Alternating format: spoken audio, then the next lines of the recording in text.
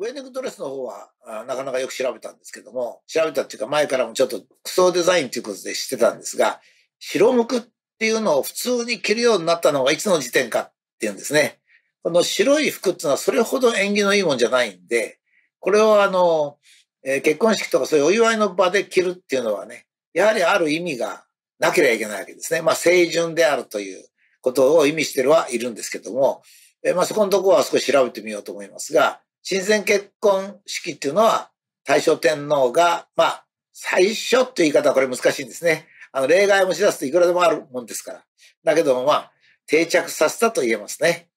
えー、ところで、あの、現在はほとんどがキリスト教式の教会での結婚になっております。もちろん違う例ありますが、えー、私がまあ自分の教え子なんかを結婚式呼ばれましてね、あ言っていますと、大体、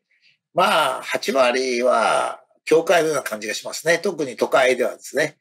で、この教会のところに、まあみんなが集まって、で、まああの、いろいろな形式ありますね。ご親族だけ集まってちょこっとだけ杯を交わして、みんなでチャペルに集まるというのもあるし、最初からチャペルに集まって、えー、洋式、ヨーロッパ方式に結婚式をやるというのもありますね。まあ私がいつも冷やかしてますけど、えー、結婚式で行きますとね、絶対にキリスト教じゃない、キリスト教信者ではないってことを知ってる学生がですね、結婚式の時だけ、えー、イエス・キリストの前に愛を誓うなんてやってますから。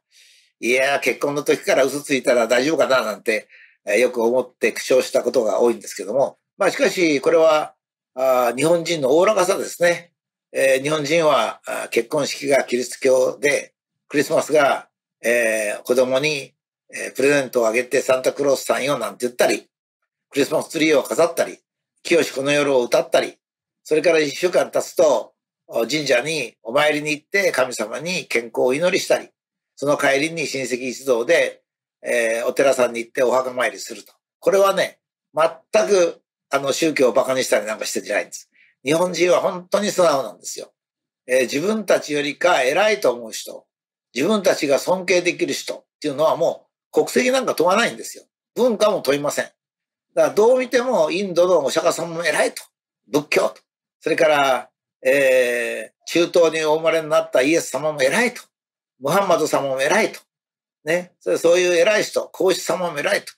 まあ、偉い人はみんな偉いと思って尊敬し、お願いするときとか、お聞きするときはそういう偉い人に聞くと。非常に素直なんですね。もともとですよ。宗教で神様同士で争うなんてことあるはずないじゃないですか。ムハンマドってのはマホメットと昔言いましたがマホメットっていうのはフランス語のスペルをローマ字読みしたっていうことで、日本しかあマホメットって言ってないんで、まあ、ムハンマドの方がいいと思いますね。ムハンマド様もイエス様もね、えー、同じ宗教ですから、あれはね。その中で争いあったりね、特にヨーロッパみたいにプロテスタント、カソリックで殺し合いをするなんてことは、ちょっとね、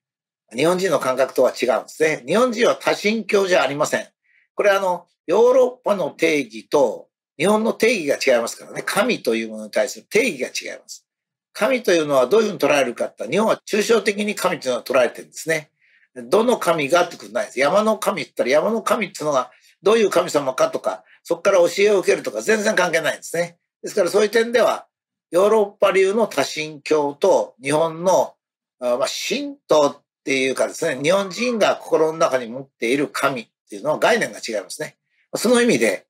いいんですね。それで、このキリスト教式の結婚式のは非常にいいですよ、雰囲気もね。デザインもいいです。日本ではこれに貢献したのが桂由美さんですね。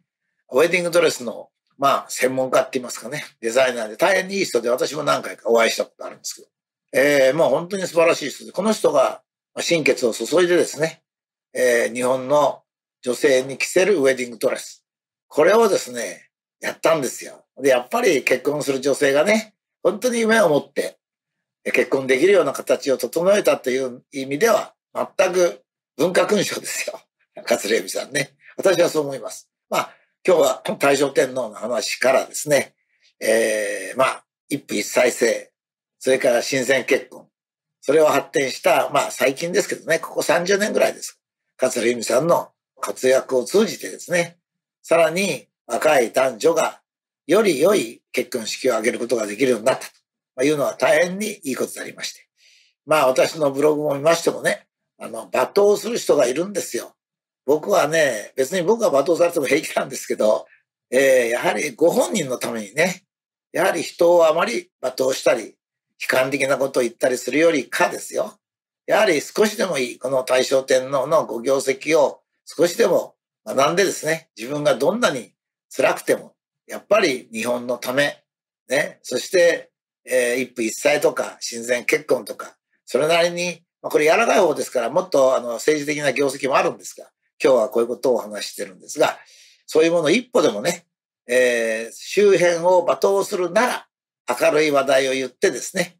まあ、毎日毎日を楽しく明るく過ごすようにやった方が僕はよろしいんじゃないかと思っております。その点も含めましてね、大正天皇とか桂由美さんをちょっとご紹介いたしました。